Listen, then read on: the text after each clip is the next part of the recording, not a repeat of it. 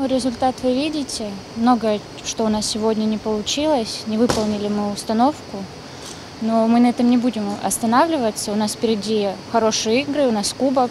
Будем анализировать, будем работу над ошибками делать. И свое еще возьмем обязательно.